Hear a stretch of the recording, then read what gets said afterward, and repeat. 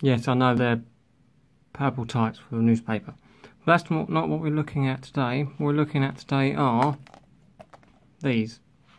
So these are little capsule toys.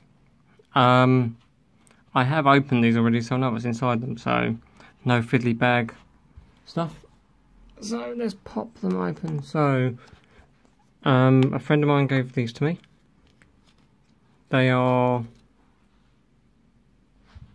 little Doctor Who figures. So you've got a Cyberman. Put them down there. Inside,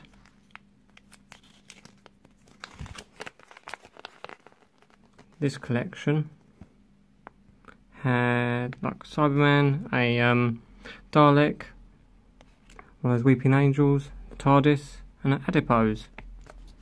Apart from that, just lots of words and some people's favourite sad onion. So, nice little figure. Nicely looking figure.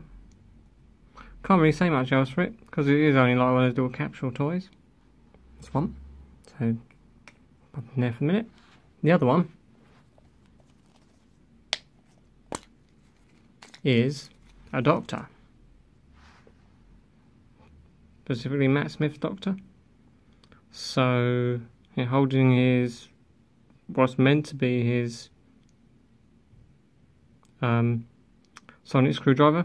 Kind of looks like he's got a lightsaber that hasn't been turned on. Doesn't entirely look like him, but it is only a small figure. This little set